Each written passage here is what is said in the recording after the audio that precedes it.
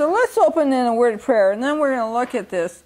Uh, Lord God Almighty, we just thank you for this opportunity to come and meet with you. Uh, Lord, we want to partake of your word tonight. That's why we've come here to receive. Lord, I pray that you just uh, cause us to be open to what you want us to hear and understand tonight. Lord, that you will meet with us personally and that you'll minister your word personally to us, Lord. That what we need to understand, you will enable us to understand, and that we will be able to grow. Lord, we want you, the presence of your Spirit here to anoint your word, to anoint me, and to prepare uh, each of us to receive. And so, Lord, we thank you for this opportunity. In the name of Jesus, we thank you, and we say this in the name above all names. Amen. We're going to begin at Amos uh, 5:18. As you know, Amos was called to basically Israel, and uh, he was a, a, a, shepherd, and he took care of trees. And this is the only time he was called. He was called once, but he has some powerful, powerful messages to Israel, and it's for the church today. As I study Amos, I'm thinking, man, you could have placed him in this time and you would think it's for this time as you get into what he says, because this is where America is. Uh, this is where a lot of people in America is. Uh, this is where some of the organized church is. And I mean, it's a real warning. And we need to really wake up to that warning. I do not believe that uh, the, the church is preparing the people for what's happening and what's on the horizon. And when you look at, at these books like Amos, he's trying to even prepare us. And we're talking about all these years ago. You know, when uh, Israel was, uh, you had Israel, the, the northern kingdom, the ten tribes, you had Judah, the two tribes, uh, the southern kingdom. And of course, this is mainly to the northern kingdom, but he's also going to speak to uh, the southern kingdom of Judah. And so, uh, you know, he started out warning all the nations around Israel, but now he's warning Israel. And the attitudes that I have seen with Israel, I see today. And it is very disturbing to me. And I think, oh God, wake us up. Wake us up because he has some really uh, powerful things to say, and you're going to see what I'm saying. Uh, so if we start at Amos 5:18, uh, this is called bitter wo- woes because he's going to say woe. Okay, woe. And uh, you're going to see that in 18, woe unto you that desire. Notice what he says. This really concerns me. Desire the day of the Lord. Woe to you. In other words, a tremendous sorrow, lamentation to you for desiring the day of the Lord. Now we're asking Jesus to come. Think about what I just said. But would he say, Woe to you for that? Now we need to understand why Amos is saying woe to them. Because it's not going to apply to everyone. Okay?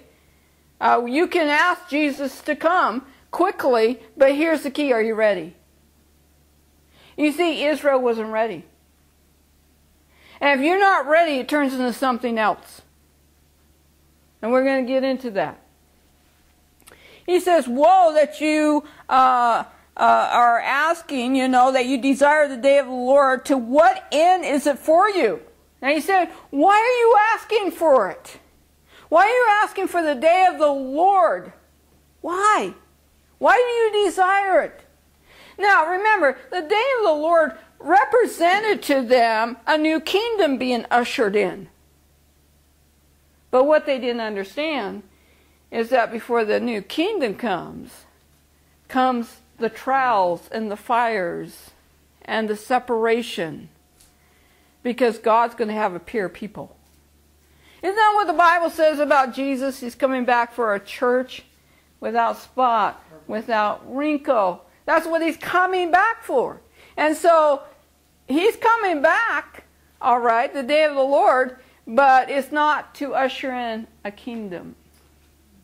Okay?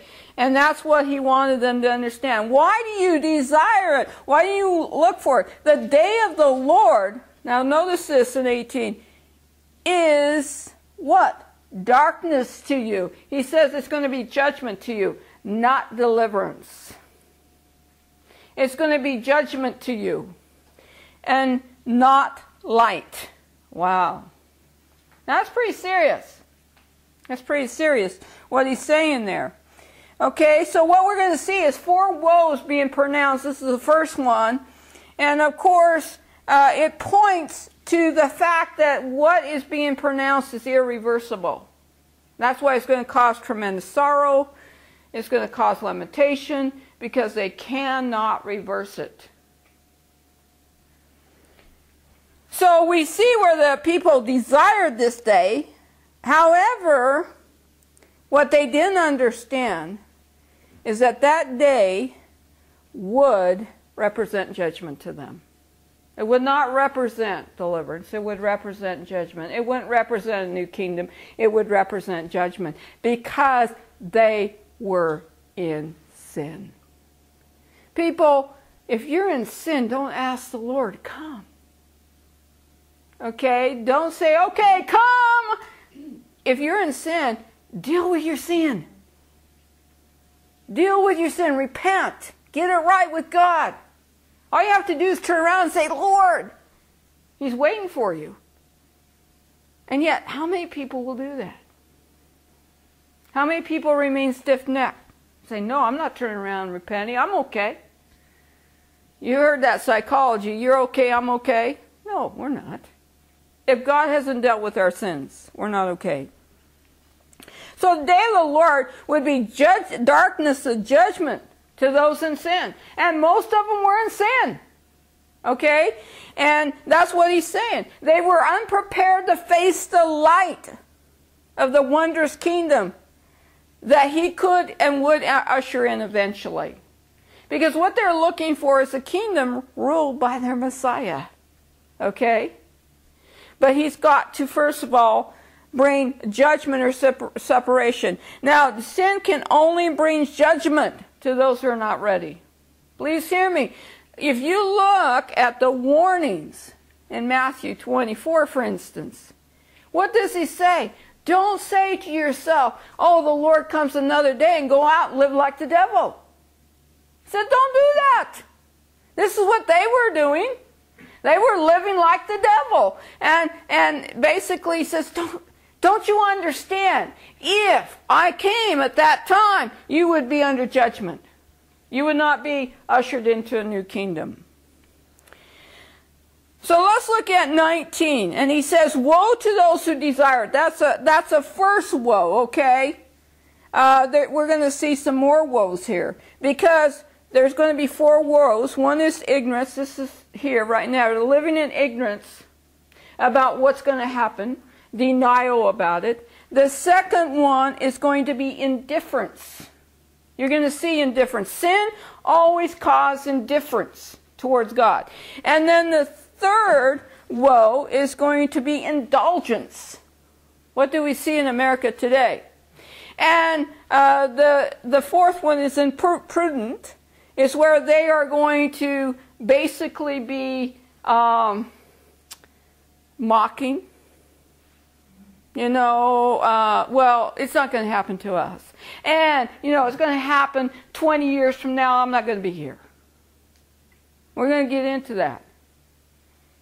Uh, because it's it's very much how many to you know today you hear well he's not coming now so it's going to happen some down the sometime down the line I can live however I want this is how these people were looking I can live however I want because you know what's not going to affect me. No, but it's going to affect your kids. It's going to affect your grandchildren. Don't you care about them? Well, you know. I see that indifference today, by the way. I see that attitude. So we're going to look at all of these because this one, of course, is sort of an ignorance about it. You know, um, I desire it. In ignorance. You're in sin. You can't be ignorant, okay, about what's happening. So let's look at uh, uh, 19. As if a man did flee from a lion and a bear met him, or went into the house and leaned his hand on the wall, and the serpent, serpent bit him. Now, what are they talking about? He's saying that nowhere, no matter where they go, they're going to be judged. Okay, they're going to be judged. If they run from the lion, a bear's going to get them. If they manage to flee the bear, guess what? There's a serpent waiting for them. Now, some believe this has uh, got a couple different fulfillments in it. One is we've seen this with Israel already as far as nations. The lion is England, the bear is Russia, and the serpent is the Antichrist. And there's going to be, you know, under England's rule, no place would take them. Because it was during what? World War II, Nazi Germany. And Russia, they're after them right now. They're using the Muslims, but they're after Israel right now. And when the Antichrist comes and steps on the scene, he's going to do everything to try to wipe Israel out. So no matter where you run, you're going to encounter judgment. And remember how many poor Jewish people suffered under Russia and all their uh, programs against them. And they, no matter where they ran, they were always being faced with persecution. And so we've been sort of seeing that right now. But he's saying that's going to happen to you when this great judgment comes on you. We're going to get into how that all happened. So let's look at 20. Shall not that day of the Lord be darkness and not light, even very dark and no brightness in it? One of the things that really concerns me is that judgment people is very dark and there will be no brightness, there, no, there will be no hope in it. But one of the things that I hear is, oh, God loves me. Yes, God loves you. He gave His Son for you.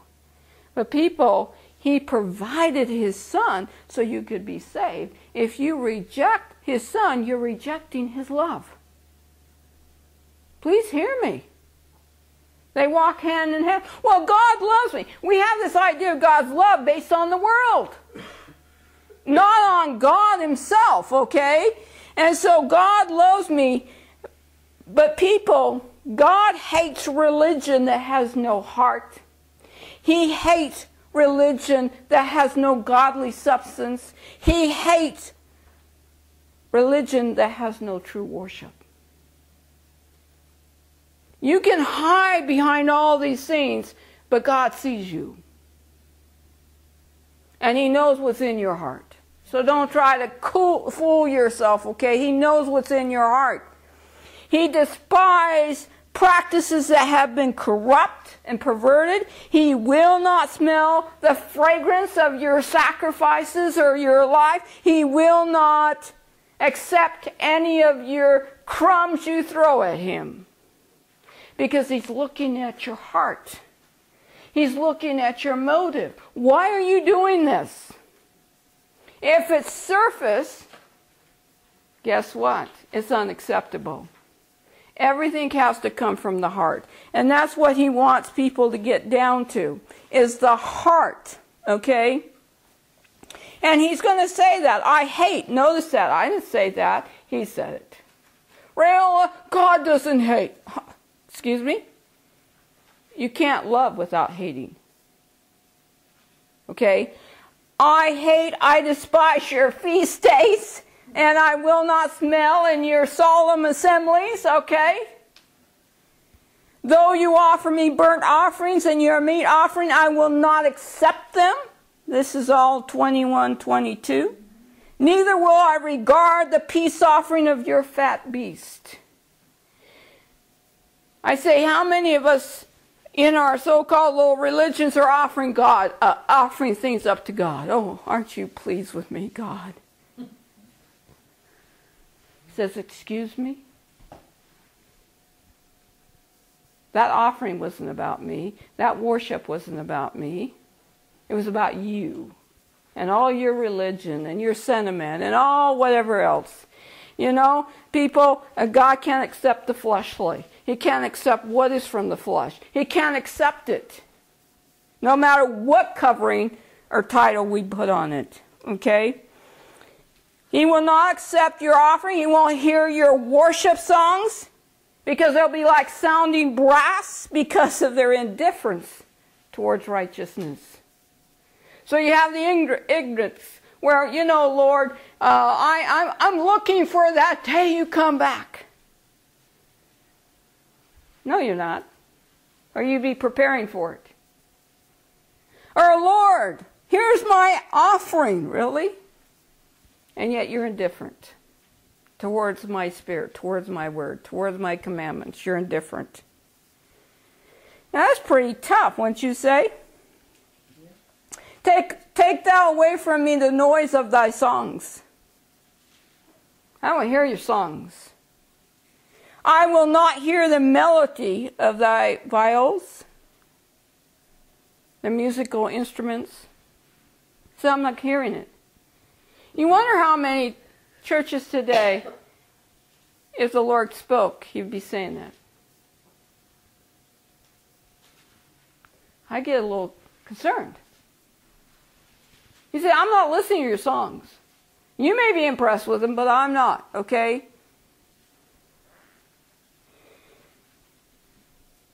So let's look at what he goes on to say in 24. Now, this is what he wants. He wants it from you and I too. But he says, But let judgment run down as waters, and righteousness as a mighty stream. I want you to think about what he's saying. He's saying, I want you to become just people based on my law. I want you to become righteous based on holiness, based on your calling. I want, that's what I want from you. That's all I want. Well, you don't understand, real. That means I have to consecrate my life and get real? Yeah. You mean I have to humble myself before God and obey Him, believe and obey Him, yeah, that's what I'm saying. But my question is is He not worthy of it?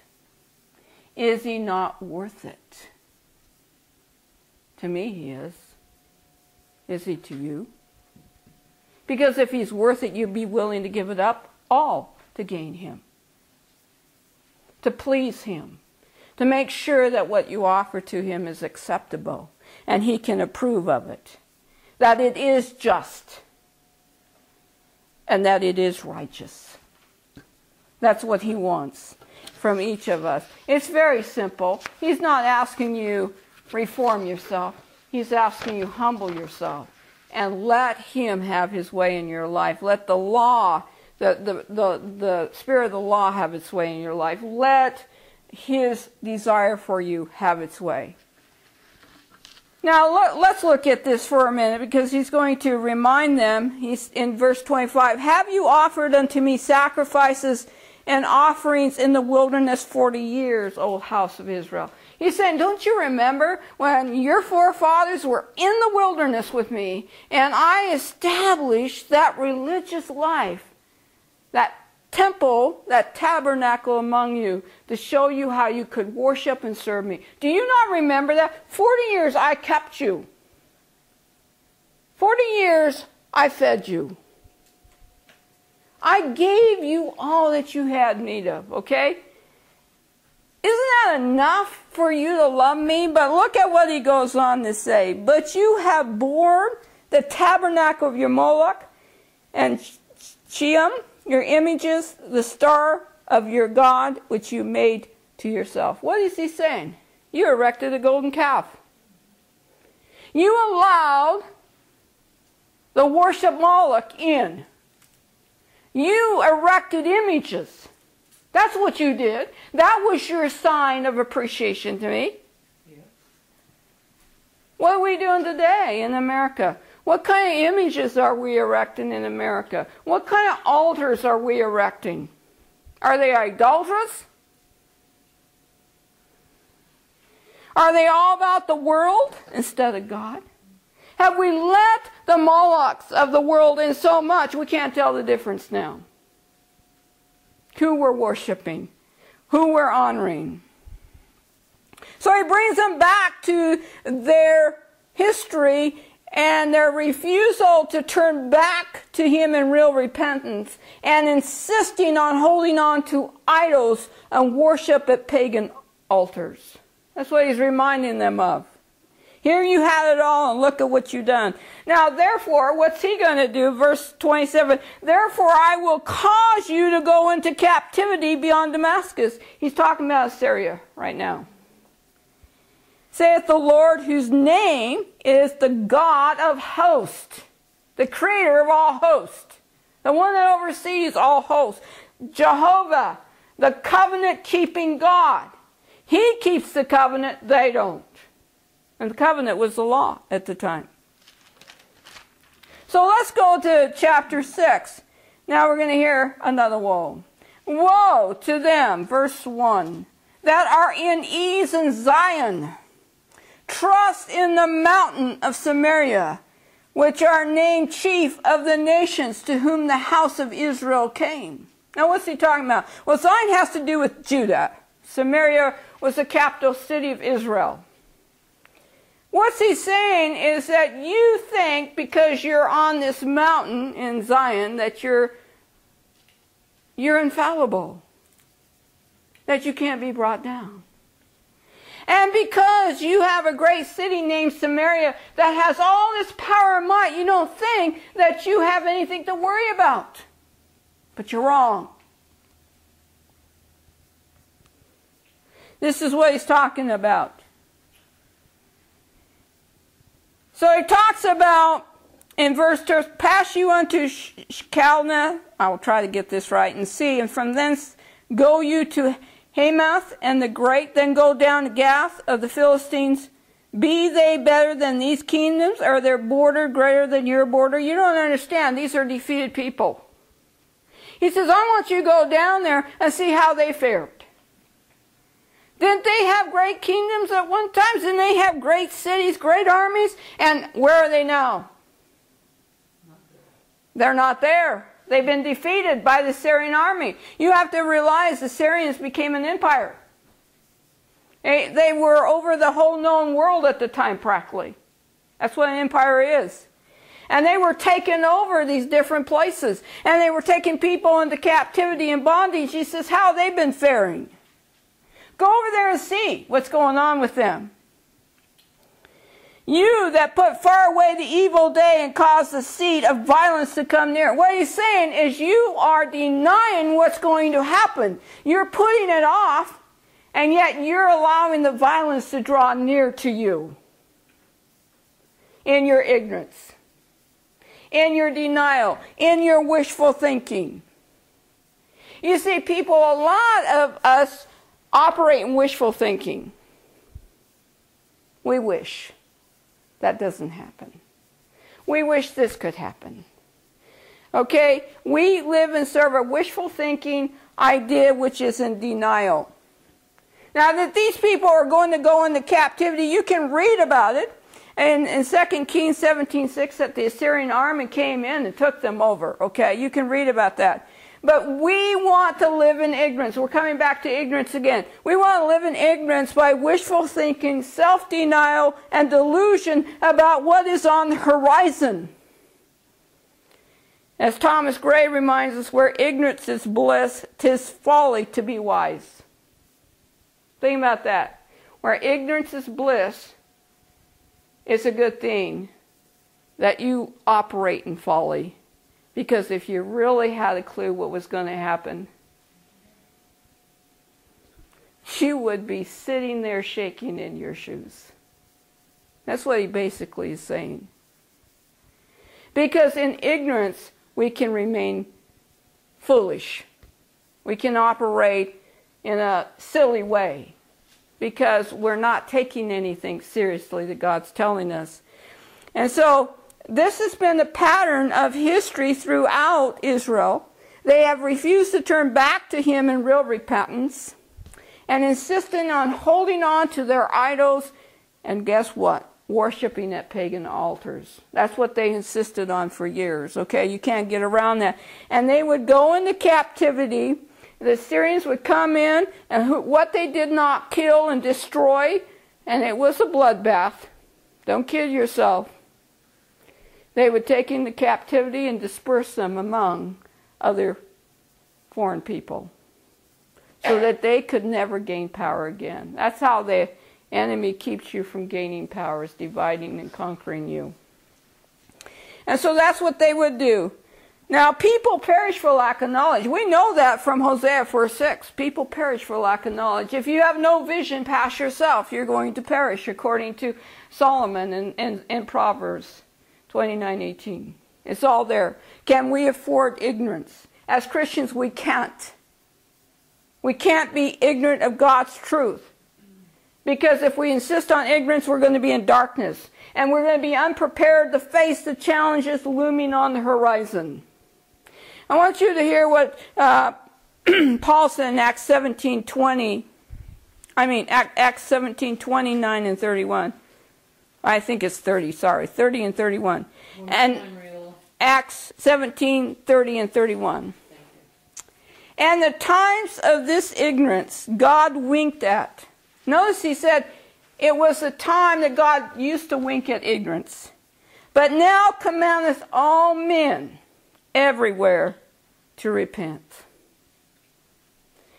Because he has appointed a day in which he will judge the world in righteousness by that man. Who's that man? Jesus Christ. And whom he has ordained. He's ordained Christ whereof he has given assurance on all, unto all men in that he has raised him from the dead. That's the crux of the, of the gospel. The gospel is Jesus died for our sins, he was buried, and he rose three days later. And if we believe he has rose, we will be saved. It's all about the bottom line of the gospel. Okay?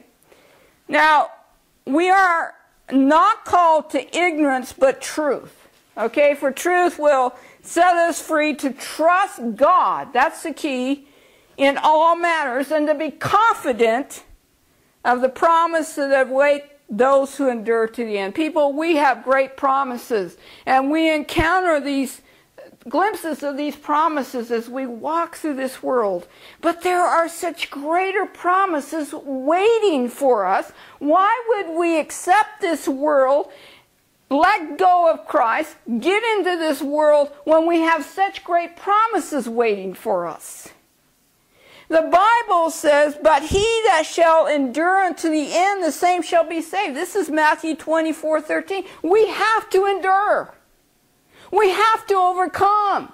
But we do it by standing on the Word of God. We do it by believing God. We do it by obeying God because we believe Him. We do it because we want to know what's going on. We want the Holy Spirit to lead us into all truth and to warn us of things to come so we can be prepared. We can't afford to be ignorant about the days we live in or living in denial about the days we live in we are living in. Christ is coming, people. He's coming. He's coming for a church without spot and wrinkle. And sometimes that means he has to put us in the washing machine. Sometimes he has to run us through the fires. Sometimes he has to let the fires come our way. But he is going to be presented a chaste bride.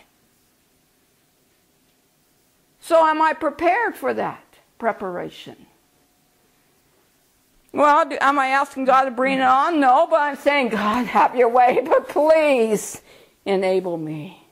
Prepare me in these days to stand as a light. Now, we are given a sure word of prophecy, people. It's word. His word tells us what we need to know. Do you believe it? Do you, do you look for it say, God, show me what you want me to understand? Don't let me assume I know. I want to know. I want to know and you can show me by your Spirit. So there will be no excuse for ignorance when He does come, people. There won't be any excuse for ignorance. Bottom line. So here they are, here sitting in this indulgence because they're living in ignorance and denial. How much of America is sitting in indulgence? Okay. Let's look at this, verse 4. He's, this is what he's going to talk about. That lie upon beds of ivory and stretch themselves upon their couches and eat the lambs out of the flock and the calves out of the midst of the stall, that chant to the sound of viol, and invent to themselves instruments of music like David, that drink wine in bowls and anoint themselves with the chief ointments, but they are not grieved for the affliction of Joseph. They were living in ease. They were living, they were indulging themselves with the things of the world. And they were indifferent. You know, the more that you become tied into this world and dulled down by the world, the more indifferent you become towards God. The more indifferent you, you become to the people around you. The more indifferent you become to your calling. And they were totally indifferent. They didn't care. They lived the life of ease and luxury. You have to realize that if you don't invest in your spiritual life, you have no substance in which to stand. You have no foundation in which to stand on. You what is going to enable us to stand today is godly character. And that's formed in you as you walk out the Word of God. It's formed in you. As you go contrary to the things you're used to, that's how it's formed in you. Character is never formed on the couch of ease. It's formed going against the grain and the currents. Okay? And they were just being fatted up, and that's what we learned uh, the last time we were together. They were being fattened up like cows for the slaughter. That's all they were being. And here they say, oh, wait, we want the day of the Lord to come. Yeah, you're really ready, right? You're really ready for that. You have character, right? You have godly character. You have real strength, right? You have moral character that hasn't been compromised. I don't think so. They didn't have any of that. You have to remember God looks at your heart, which means He's looking for strength of character in you as well as your heart attitude towards Him. We can't ignore the spiritual dimension of life because it will lead to shameful defeat. If you don't invest in your spiritual life, you're going to end up in defeat. Okay? So we see this indulgence going on. Is there anything new about this attitude of ease? No. Look at Matthew 24, 46 through 51. Let's keep your fingers in Amos, but let's look at that because that's pretty well what it says there as well. We're living in those like days. You know, there's a couple things that never change God and mankind. Okay? They don't change how they do things. They may live in different societies and cultures, but they never change. They do the same foolish thing all the time if they don't get regenerated and born again. Matthew 24, 46 to 51. And of course, this is the famous scriptures. We've all read them many times, right? Whoops. Did I get that right? Probably not. No, it doesn't even go there. Uh, no, I'm yeah, in, 24. yeah, that's right. I'm sorry. I'm in Matthew 25. That's what gets me in trouble. Okay, 46. It says, Blessed is that servant whom his Lord, when he cometh, shall find so doing. Verily I say unto you, that he shall make him ruler over all his goods. But, and if that evil servant shall say in his heart, My Lord delayeth his coming. Boy and shall begin to smite his fellow servants and to eat and drink with the drunken. The Lord of that servant shall come in a day when he looketh not for him, and in an hour that he is not aware of, and shall cut him asunder, and appoint him his portion with the hypocrites. There shall be weeping and gnashing of teeth. There you go. We are living in a life of ease, but when we do, it's at the expense of others. You have to keep that in mind. For these people, they were living at the expense of others, and they were basically lovers of pleasure. And you can't, if you're a lover of pleasure, you can't be a lover of God. Okay? And that's what it basically describes by Apostle Paul in 2 Timothy chapter 3, 4. He talks about the lovers of pleasure instead of lovers of God. When you lack a love for God, people, and you're pursuing the pleasures of this world, it will be clearly seen in society as it spins out of control. So, how's our society doing? Because we have pursued the wrong things instead of God. The pursuit of the pleasures of the world, which all dulls you down, eventually will destroy your desire for God. It usually takes a crisis in society to bring people back to center. And that's the harsh reality. We have crisis now, and God's trying to bring his people back to center before he has to pour his wrath on them. It's a very serious time. They're laying all the stuff up for themselves, but think about this. They were like Luke 12, the guy who built all the farm, the barns for his wealth. And what did God say to him in Luke 12, 21? But God said unto him, Thou fool, this night thy soul shall be required of thee. So is he that layeth up treasure for himself is not rich towards God. When nations get pleasure mad, guess what? It's a sign that the end is near for that nation. When they get pleasure mad, is a sign that an, the nation's coming to an end. So I want you to look at uh, of verse 7 here, okay? Because of this, therefore now shall they go captive with the first that go captive, and the banquet of them that stretch themselves shall be removed. He says, guess what? You're going into captivity. And the reason why is because they didn't have a burden for the sins, for their sins or the sins of the nation. And the, and people, this is true for us. We have, we should, I don't know about you, but we should have a burden for this nation. We should have a burden for the sins. We should have the burden for the church. We should have a burden where we cry before God and say, Oh God, have mercy. Oh God, show us our sins. Reveal it to them. I have a burden. My spirit is vexed over this nation. My spirit is vexed over the condition of the church. I'm not talking about every church, I'm talking about the visible church. Most of them remind me of insane people. Okay? Where is the preaching of the gospel? You are sinners if you have not been born again. You need to get born again. Where's the urgency? Where's the call for repentance? If you're worldly, if you have idols in your life, you need to repent. How important is that, right?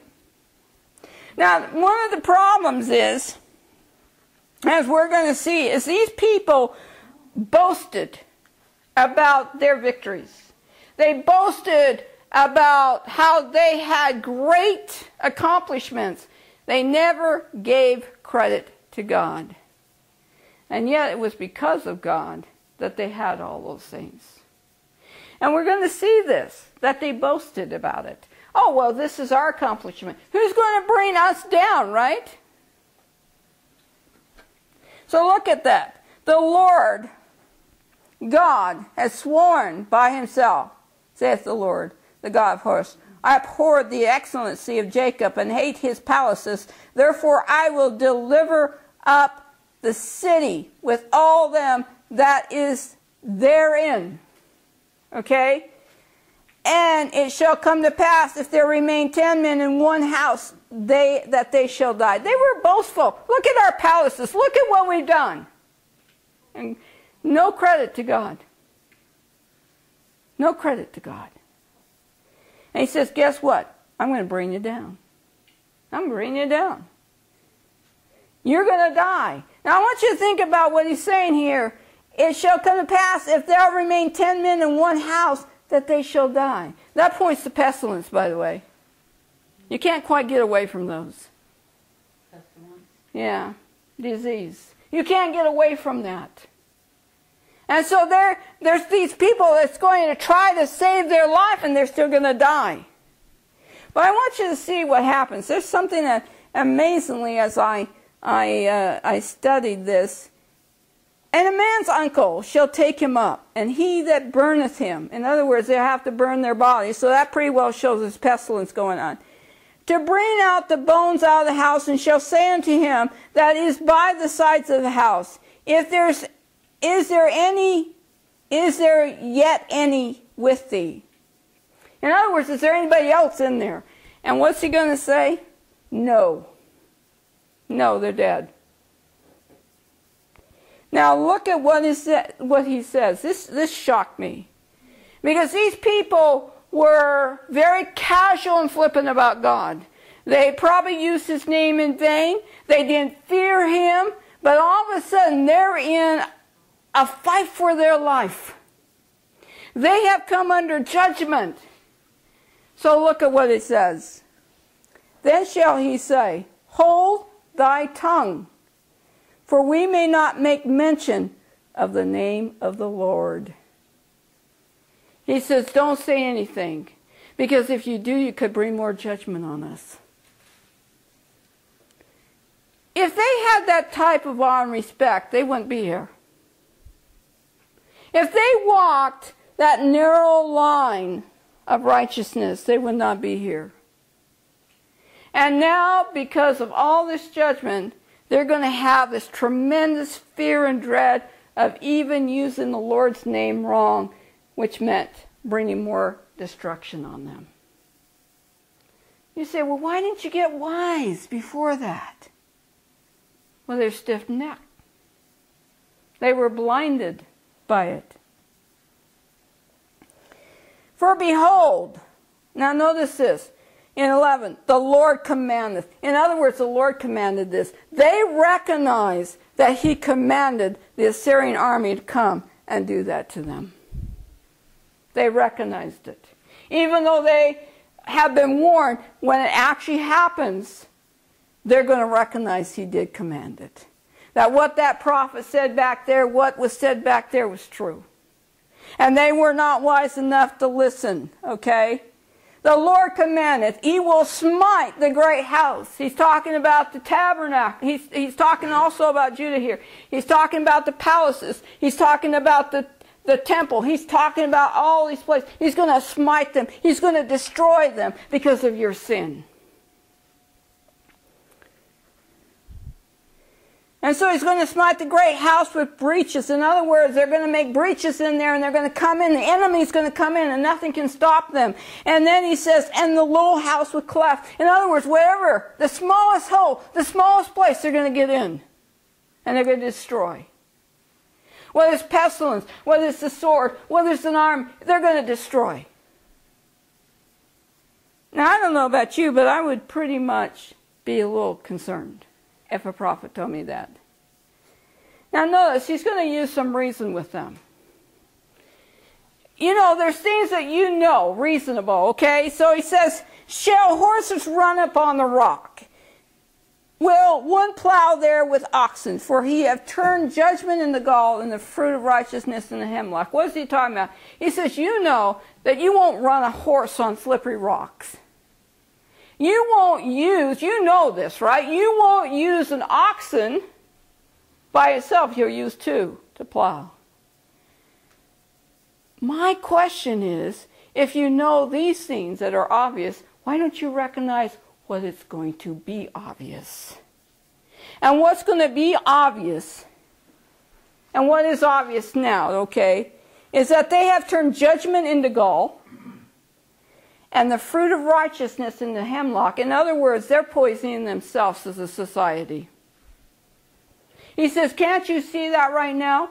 Isn't that obvious by the fruits of your society? What's obvious to you and I by the fruits of our society?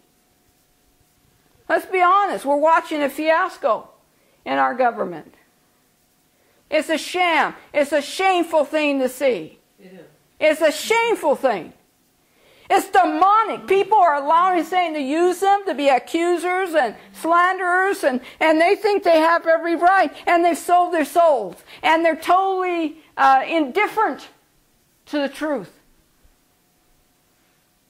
They have no idea. It's a spiritual battle, by the way. And we need to fight that spiritual battle. They were not going to stop this repercussion because guess what? They were poisoning their own society by what they were doing. They were poisoning it. And he says, Can't you see that? Now, notice what he says. You which rejoice in a thing of naught, which say, Have we not taken to us horns by our own strength? Again, this is where they're boasting. They're boasting. You know, first look at what we have. Now they're saying, well, we've done this ourselves. We're boasting. This is where the impertinent attitude comes in. We're boasting about it, okay? They don't give God any credit. You know, there's something God hates and He'll judge. It's called unthankfulness. He's going to judge that. And we are we can be very unthankful people because we're very spoiled. Are you thankful for what God has given you? I am. I am satisfied with what God's given me because that's what I need. Okay? He says, I will give you your daily bread. I'm satisfied. Because the more that I allow Him to fill my life up with His truth, the more satisfied I am because he's filling my life up with himself. And there's nothing that's going to satisfy your soul more than Christ. There's nothing that's going to satisfy, satisfy your spirit than Christ. And as you fill your life more and more with Christ and His Word, you're going to become more and more satisfied.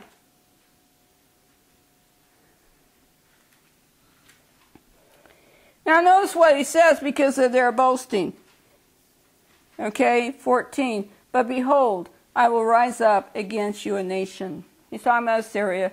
O house of Israel, saith the Lord, the God of hosts, and they shall afflict you from the entering in Hamath unto the river of the wilderness. What is he saying? No matter where you run, they're going to find you. No matter where you run, they're going to find you. You will have no hiding place. And guess what? Your priests won't save you. Your false prophets won't be able to save you. Your army won't be able to save you. Your king won't be able to save you. You're not going to have a king. Therefore, you have no authority. No one will be able to save you. Why? Because there's only one deliverer, and his name is God.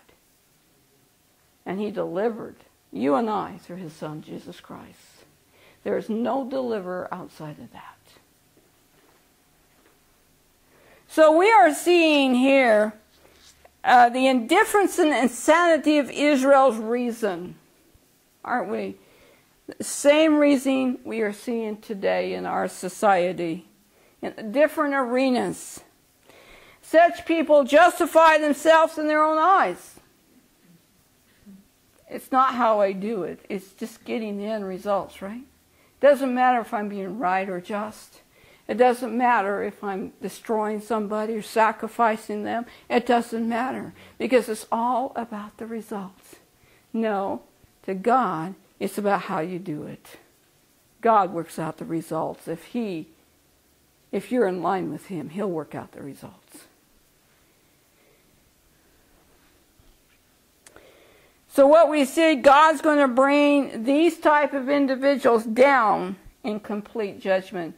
You know, as I watch our politicians, I want to say, do you realize one day you're going to be brought down in complete judgment? And the way you judge is how you're going to be judged. The way you have treated others is the way you're going to be treated. You are bringing and heaping such tremendous judgment on yourself. That you should be ashamed of yourself and you should be shaking in your shoes and trying to remedy it before God Almighty. So, as we come to the close of this, I want you to realize how much we are living in the days of Amos. This is for us. This is a warning to us as a nation. It's a warning to the church. It's a warning to us individually. But what I want you to know today, we have a Savior. We don't have to accept the judgment of God. We're not under the judgment of God. If you have truly come under the redeeming justification of Christ on the cross, what He did for you, you don't stand judge.